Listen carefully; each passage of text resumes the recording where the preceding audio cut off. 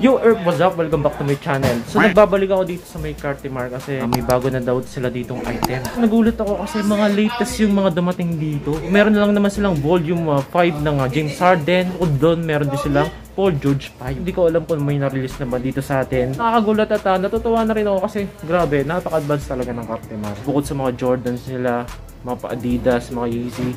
So, talagang mga updated. So, hindi rin sila papauli sa mga signature shoes. Disclaimer lang itong video na to ay for awareness lamang. Gusto ko lang magbigay ng idea or tips na may mga makikita na kayong gantong item sa market, lalong-lalo na sa online.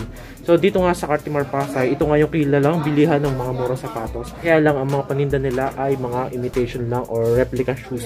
So, ngayon, hindi ko napapatagalin to. Ang dami ko na sinabi. So, papakita ko na sa inyo yung mga sinasabi kong bagong design nila dito. Paul George 5 at yung James Harden Volume 5 nila. Let's go! So sisimulan na natin dito sa may uh, James Harden Volume 5 nila. Ayan oh, ang daming colorway. Ilang colorway to? 2, 4, 6, 6 na colorway. So tingnan nyo naman ang design na to. So nagulat ako na meron na pala nito. So kaya lang hindi ko pa alam kung uh, may na-release na ba nito or may release date na ba. So i-comment nyo na lang dyan sa comment section. So dito nga sa Cartimar, ayan. So ang dami na agad ang alam ko, advanced talaga ang Cartimar. Kakaiba yung design ng James Harden ngayon. Medyo makulay. Kumpara sa mga lumang design. Ay no, cute nito. Oh. Grabe. Ito nga pala yung outsole niya. May boost na nakalagay sa outsole. So tingnan nyo. Itong isa. Ito mo. Ayan o. Oh. May boost. Ayan. So hindi ko alam kung ano iba pang technology ang uh, ginamit dito pero dito sa fake malamang sa malamang eh wala dito yung technology na sinasabi. Katulad ng sa legit yan naraglag pa. So dyan ito yung neon green na colorway. Ayan. Grabe parang nailaw ah. May uh, butterfly siya dito sa may bandang toe box nya ayan may flower.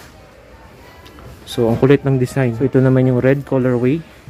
Yan simpleng simple ayan medyo dark So, ayan. May signature siya dito. May logo sa tang.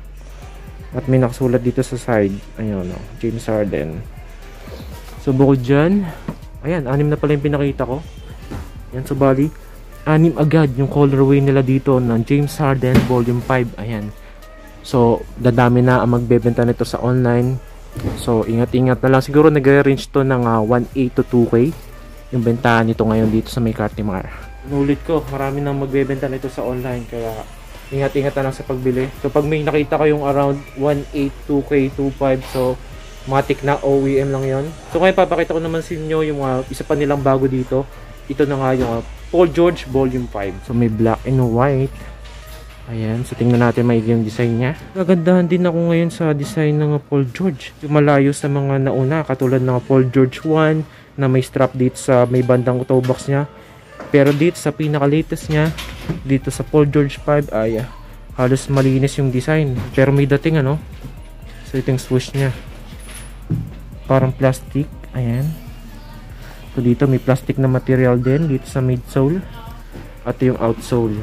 Ayan. May technology siya dito sa loob na hindi ko alam ang tawag. So i-comment nyo na lang dyan sa comment section kung anong technology ang meron dito sa may Paul George 5. So bukod dyan sa black and white, So meron sila ditong gray and green.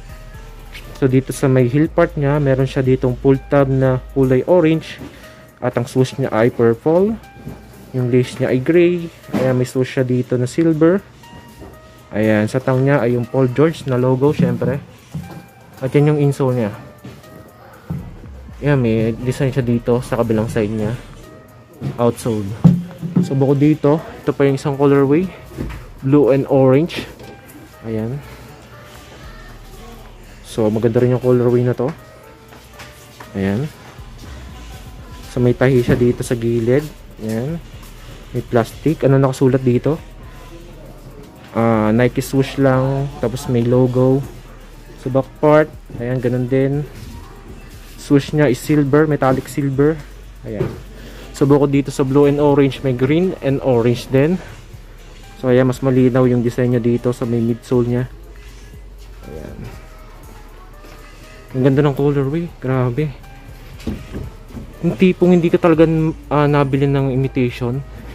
ah, tingin ko mapapabili ka talaga. So, sobrang aangas ng sapatos nila. At bukod doon, ang alam ko, wala pa nga nito dito sa Philippines. Kaya, posible talaga mapabili nito ng mga tao. Ano? So, may isa pa palang colorway yung Paul George 5. Yeah, may white and black combination. So, ayan. Tingnan nyo na lang.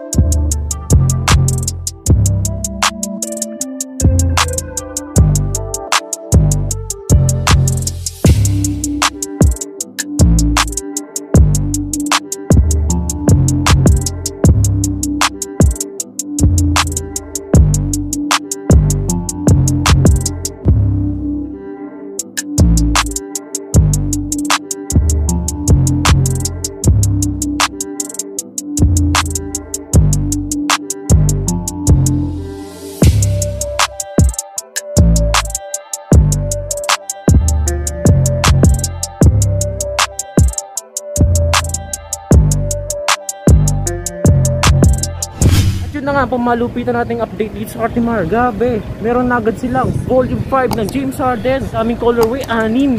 Anim agad. Grabe, napaka-advance talaga ng Cartimar Pasay. At bukod doon, meron na rin silang Paul George 5. At ah, ang dami ding colorway. Disclaimer lang, tong video na to ay for awareness lamang. Gusto ko lang sa inyo magbigay ng idea na may makikita na nga kayong mga ganitong items sa market. Comment na below kung anong masasabi nyo dito. At syempre, huwag nyo pala akong kalimutang i-follow sa TikTok. Erp Kenty kasi nag-upload ako doon ng ah, mga 10 video kada isang araw. So make sure na naka-follow kayo doon. Erp Kenty. Yo, salamat sa inyo pagsubaybay ka. Erp Kaban last. Ito na lang tayo. Next video. Gang.